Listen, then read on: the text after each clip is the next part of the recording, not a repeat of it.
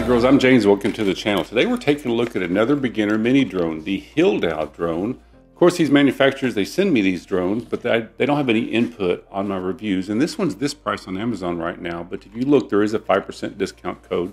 Comes in a really nice case with three batteries, a nice remote, good app, extra props, prop guards, uh, 1080p camera. Seems more like a 720p to me. It is adjustable, it goes up and down. Uh, kind of reminds me of the look of the FPV, but man, these front lights. Dude, these things are so cool. Oh my gosh. And they change colors and they go back and forth. It kind of reminds me of like the day the Earth stood still. Was that Gort, uh, that robot? It looks so cool. I can't wait to fly this at night. I've already flown it during the day and I've already done my review on it, but I want to fly this thing at night. This thing looks really cool.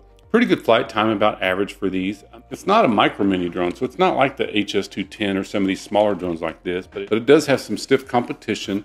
And I really like the HS430. This one's got a really good camera on it. But you look, this one's quite a bit bigger. Matter of fact, it's about the same size as the DJI Mini, maybe just a little bit smaller, but it weighs less than half as much, of course. So it's got some big frontal and side areas. So if it's windy outside, it's going to catch it. So you got to fly it in light winds. I like it that it has foldable prop. They are brushed motors.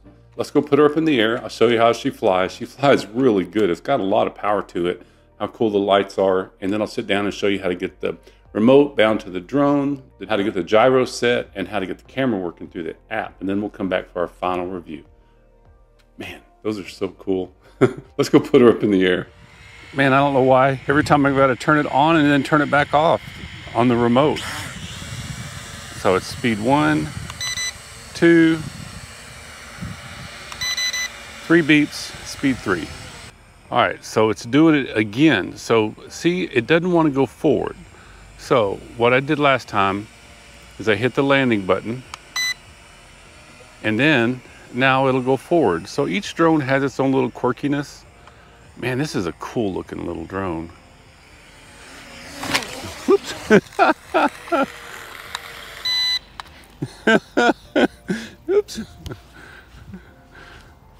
Let's try that again.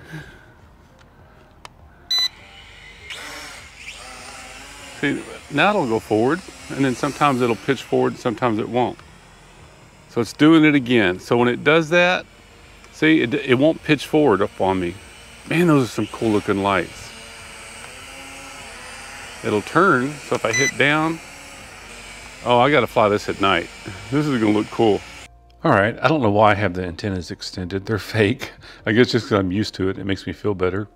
So the two things with this drone that are quirky is one, I couldn't get the props to unlock and spin unless I turn the remote on and off, and then it works perfect every time. And also, once I go get up and I pitch forward, it's fine until the second time I try to do it and then it won't pitch forward except really slow. And if it's windy, it's going to fall away from you. So if I hit the down button to make it try to land and then pitch it forward, it does fantastic and it does it really good for the rest of the flight. So there's two quirkiness. Uh, I got it figured out. If a beginner got this drone, he would probably send it back thinking there's something wrong with it. They'll probably get that worked out. But other than that, it really flies good. I mean, there's no latency in the controls. It yaws left and right, spins and flips. Uh, what I mean by there's no latency, when it's headed towards something, it will turn away from it and come back at you really quick. Some of these beginner drones, they take too long to turn around. So if you're headed towards something, it's going to crash into it because you can't stop it and make it spin around back at you. Also, I always say uh, try to have an agenda. Don't just aimlessly fly around. Uh, in the beginning, you want to to learn the orientation of the drone, but once you really start learning what you're doing, try to have it go around you, facing you, have it go around you, facing away from you. Try figure eights, just everything you can to improve your skill set and make it more fun.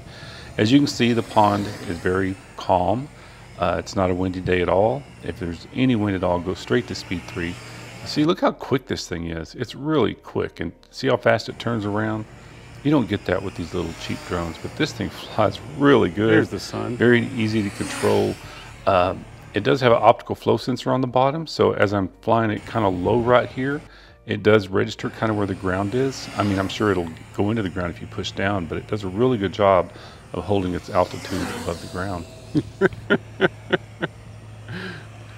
Another thing, this is not a GPS drone, so it does not use the satellites to hold its position. You, as the pilot, are in charge of where it's going. So if the wind starts to grab it and pull it away, or you lose orientation of it, it's important to learn where the emergency stop is. So unfortunately, it's the down button, and that's with a lot of other drones also. So you can either push it quick to have it land, or you can hold it down and it'll fall out of the sky just like that. So be sure and practice that. So here's some video I took during the day. As you can tell, I mean, it's not really a 1080p camera. I mean, 720 would be pushing it. If you want a mini drone with a really good camera, the HS430 was really good. Um, here's some photos it took. Uh, as you can tell, it's real pixelated. Then I came out at night, and here's low light video. Then I thought I would try the obstacle avoidance, so I came out and to try the lights at night. Man, it looks really cool at night. I mean, this thing is really having a lot of fun with it. So here I try to make it come at me and hit me, and it actually worked pretty good. But it was hit or miss uh, right here. So it's trying to make it come at me, it won't hit me, and it backs away. But if you walk up to it and you put your hand up against the sides and stuff, it doesn't register it. If you're going towards something that's very large, there you go. See the optical avoidance. I was trying to come in sideways. It worked pretty good. Uh, but it was hit or miss. So don't trust optical avoidance on any drone, especially a budget drone. But man, those lights are so cool. All right, so let's go inside and I'll show you how to get the remote working, the app working, the camera working, and everything. All right, guys, so once you get the package, it comes with a really nice carrying case. Got a little handle to it. Zips up. I like the feel of it. You open it up. You got the drone, the remote, extra props, prop guards, a charger, and three batteries. Two right here, and then one in the drone. And these props are labeled. Very hard to see, but they are labeled right there. Make sure you get the right ones on for the angle of attack. So the drone, so look at the front of this drone. This is the coolest looking little drone. You turn it on back here.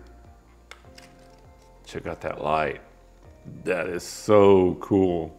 Oh my gosh. So anyway, so um, here's a camera. It, you can move it up and down, which is great. Drives me nuts when these things are down and you can't adjust it, which almost makes them useless. It, it does have obstacle avoidance sensors here, uh, here, and on the bottom.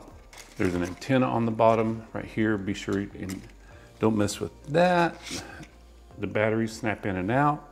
There are 650 milliwatt per hour batteries and they charge up in about an hour. And I think I was getting seven or eight minutes of flight time. So on the remote, I've seen this remote before. These antennas aren't real. I know you can put them up if you want, makes you feel better, but they're not real. On the back, it takes three AA batteries, comes with a handy dandy screwdriver to take that out. Uh, on the top is your speed button on this side, and you'll hear three beeps when you push it. When I was flying it, one, two, three.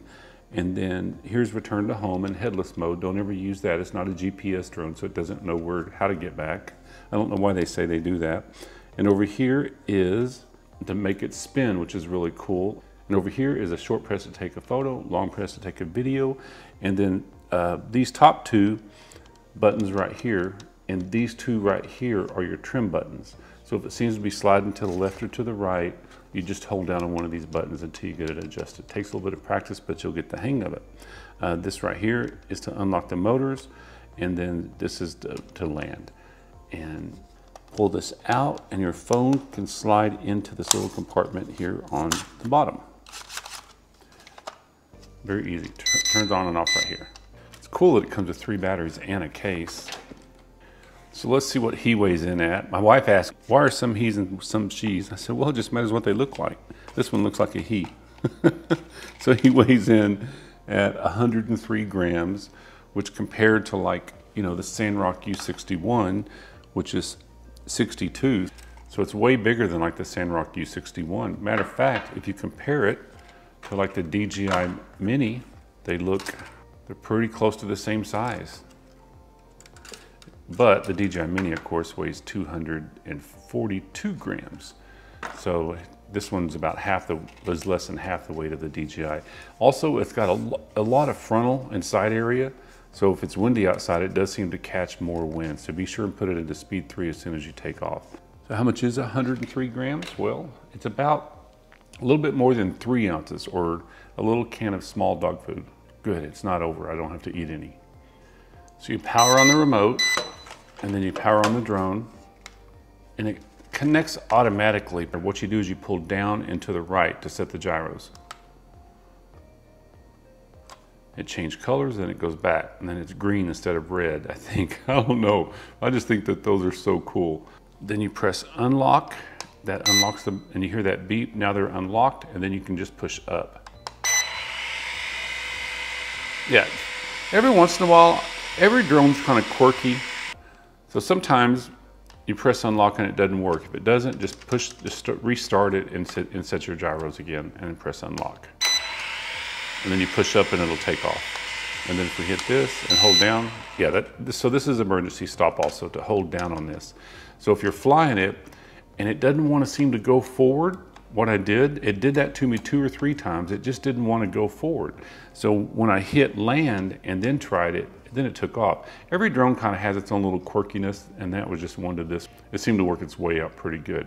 So now it's ready to fly, but now how to get the camera to work is you, you go to your instruction booklet, booklet slash comedy guide. And the reason I say that is they should have had someone who speaks English proof, proofread this. There's some pretty funny stuff in here. Right here it says, uh, don't pierce the battery casing with a nail or other sharp object. Break it open with a hammer or step on it. and then um, right here it says, avoid short circuits by fitting the batteries incorrectly. what does that mean? I think it's supposed to say incorrectly and not incorrectly.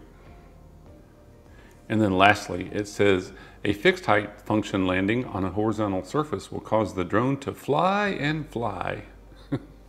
I'm not making fun of this company, but it's a great drone, but it's just, it's so much fun to read some of these. So anyway, so to get the camera to work, you go to the QR code. I've seen this app before, and then you uh, download the, then you download the app. I put in your camera to the QR code. Of course, I used my phone to fly it, but I'm gonna use my iPad to show you how to use it. Open up your camera, go to the, go to the app. It says KYFPV. So I see this app doesn't have very good ratings. Guys, all these apps are the same. These are beginner drones. You need to make a pre-start checklist. People buy these drones and they don't know how to use them because they don't want to follow everything, the instructions, just like I did when I started. I didn't want to follow the instructions and read everything and go everything, but it's important that this drone knows what to do. You, you got to know how to pair the drone, the remote to the drone, and how to set your gyros. If you don't set your gyros, it's going to fly off crooked because it needs to be on a flat it needs to be on a completely flat surface when you set your gyros by you know pulling down and to the right and do that every time. So now that the now it's downloaded, we can open up the app and here's the app. And then you hit start and it takes you to the app. But it's not going to work because it's a Wi-Fi drone. So you, what you got to do is you got to go back to your settings. The drone turned off, turn it back on. Those cool lights. Oh my gosh. Then you go to your Wi-Fi, KYFD. Now it's now it's connected. So now you can go back to the app and hit start. And your camera's working. It's a 1080p camera. To me, it looks more like a 720p. But um, you're buying these just to learn how to fly, really. You're not just buying these just for the camera.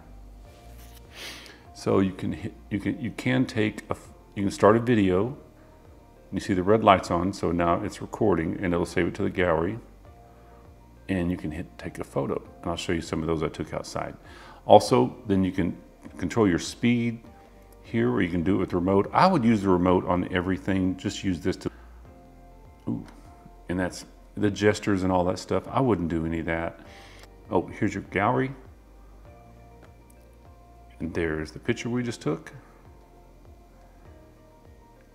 And go back to the gallery and here's your video and there's the video we just took and you can save those all right so let's go all right so let's go back for our final review Hey guys, thanks so much for watching my review of the Hilldow drone. Guys, this thing is really cool. The lights are really cool. It's got a lot of power. If you did notice when I was flying it, I have to be honest with you, that like the second or third time I tried to pitch it forward, it wouldn't go forward, but really, really slow. But as soon as I hit the land button and then took off, for the rest of the flight, it was fine. But every time I took off, it seemed to have that problem. About the second or the third time, it may just be this drone, but it didn't really bother me once I figured it out. But if I was a beginner and I was flying this drone, that would have drove me nuts because I would think it was broken. It wouldn't go forward. Uh, good flight time, lots of speed. Camera doesn't seem like a 1080. It seems more like a 720. So at this price point, how does it stand against its competition? I think it flies just as good as the HS430. I think the camera's way better on this one, uh, but it, this one doesn't have the cool lights. It does kind of have a cool light in the front, but nothing like this. And this one looks really good. Uh, I like the remote a little bit better on this one. If you're wanting to fly indoors, you really need a, a drone with covered props. And this one's kind of big to be flying indoors, to be honest with you anyway. So uh, if you want to fly indoors, I would go with something that has covered props, kind of like the, the DEERC uh, D23 that's got some cool lights that I just reviewed or that Sanrock U61 that's been around for a long time. They just keep the price keeps going down and down. I think it's like $35 now. But you can't go wrong with this one. I've never heard of Hilldow before. They sent me two drones.